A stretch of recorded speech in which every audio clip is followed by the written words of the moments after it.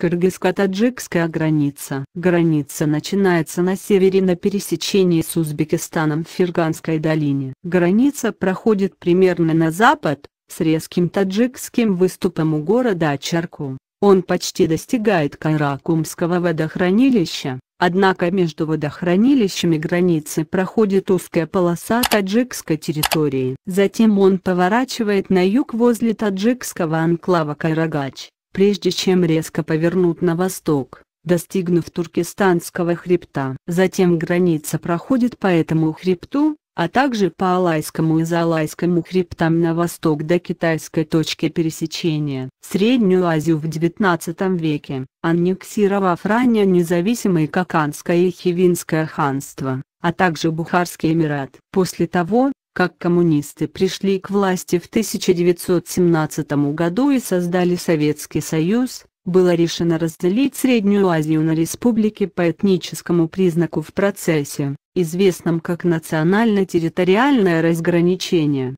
или НТД. Это соответствовало коммунистической теории, согласно которой национализм был необходимым шагом на пути к коммунистическому обществу, и определению Иосифом Сталиным нации как исторически сложившегося, стабильного сообщества людей, сформированного на основе общего языка.